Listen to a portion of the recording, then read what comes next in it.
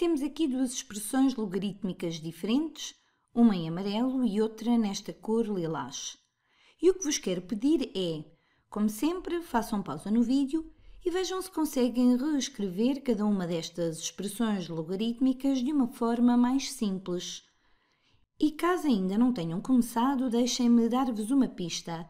Pensem em como é que é possível mudar a base do logaritmo, ou dos logaritmos, ou das expressões logarítmicas. Fazendo isso, verão que são capazes de simplificar bastante. E vou dar-vos mais uma pista. O que eu quero dizer com mudar a base é.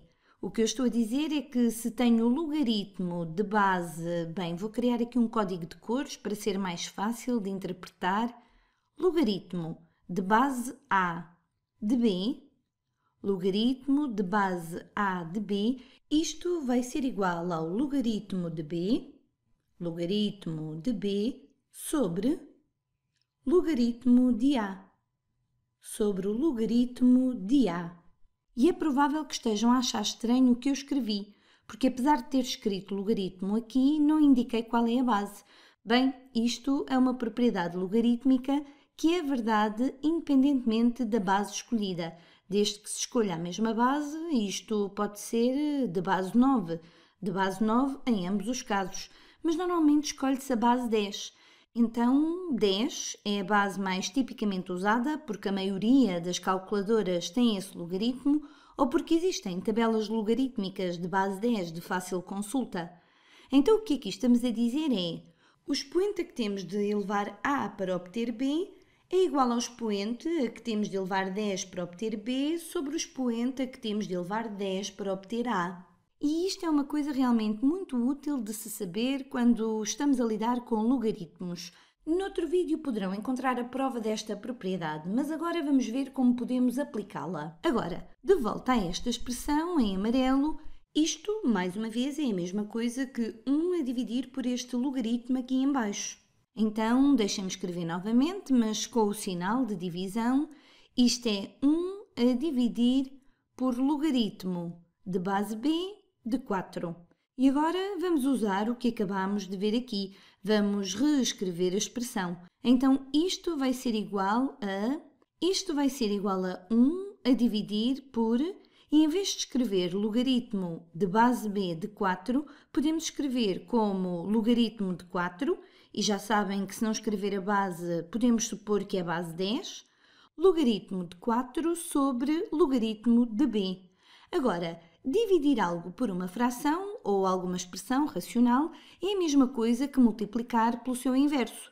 Então, isto vai ser igual a 1 vezes o inverso disto, logaritmo de b sobre logaritmo de 4, que, naturalmente, vai ser apenas logaritmo de b sobre logaritmo de 4. Eu estou apenas a fazer a multiplicação, para agora podermos usar esta propriedade que estabelecemos no início do vídeo, só que agora daqui para aqui. Isto é a mesma coisa que logaritmo de base 4 de b. Logaritmo de base 4 de b. Portanto, chegamos a um resultado muito simples. Quer dizer que se fizermos o inverso de uma expressão logarítmica, chegamos a um resultado em que essencialmente trocamos estes dois valores. Isto aqui corresponde a qual é que é o expoente a que temos de elevar b para obter 4, enquanto que aqui qual é que é o expoente a que temos de elevar 4 para obter b. Eu sei que para já isto vos pode parecer um pouco magia, pelo menos até se colocar aqui alguns valores concretos mas vão ver que depois começa a fazer sentido, especialmente em relação a expoentes fracionários.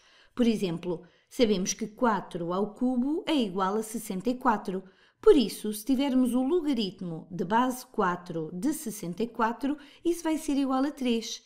E se agora dissermos logaritmo de base 64 de 4? Bem, agora temos de elevar isto ao expoente 1 terço. Reparem, estes dois números são o inverso um do outro, por isso, afinal, isto não é assim tão mágico e até é bom ver de onde é que vem e como é que tudo se encaixa.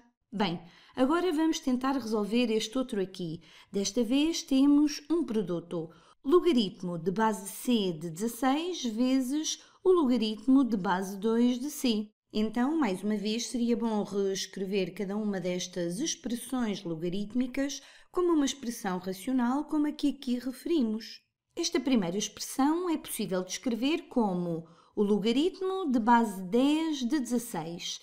E lembrem-se que se não escrevermos a base, é possível assumir que a base é 10, por exemplo. Isto sobre logaritmo, sobre logaritmo de base 10 de c. E agora vamos multiplicar isto por esta expressão logarítmica agora vai ser... Podemos escrever isto como logaritmo da base 10 de c sobre logaritmo de base 10 de 2. Logaritmo de base 10 de 2. Mais uma vez, podemos escrever a base 10 aqui se isso vos deixar mais confortáveis. Podemos fazer algo assim, mas na verdade não é preciso. E agora, isto é interessante, porque se multiplicarmos pelo logaritmo de c e dividirmos pelo logaritmo de c, ambos de base 10, bem, simplesmente cancelam-se e ficamos com o logaritmo de base 10 de 16 sobre o logaritmo de base 10 de 2. E aqui alguns de vós podem perguntar-se, então mas eu não sei quanto é o c? E se o c for 1? aí o logaritmo de base 10 de c seria zero e já não podíamos dividir o logaritmo de 16 por esse logaritmo, como fizemos. É verdade, não podemos dividir por zero. Mas reparem, o c, inicialmente, mesmo não sabendo a quanto corresponde, surge também como a base do primeiro logaritmo e devem recordar-se que a base só pode assumir valores reais positivos diferentes de 1. Assim, se c não pode ser 1, o logaritmo de c também não poderá ser zero. Agora, usando mais uma vez esta propriedade, isto vai ser, isto vai ser logaritmo de base 2 de 16. Logaritmo de base 2 de 16. E ainda não terminamos, porque tudo isto corresponde a qual é que é o expoente que tem de elevar 2 para chegar a 16?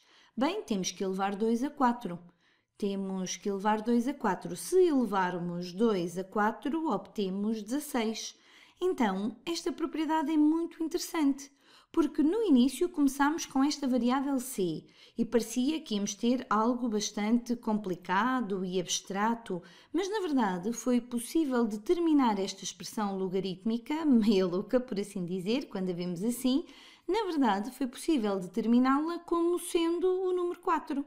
E de facto, se eu tivesse que organizar alguma caça ao tesouro da matemática, um daqueles jogos em que estamos fechados numa divisão e é preciso encontrar e relacionar pistas para se conseguir sair, este exercício seria bastante interessante de usar, com o objetivo de se chegar ao resultado 4. Sim, seria muito engraçado de usar. Bem, eu espero que tenham gostado.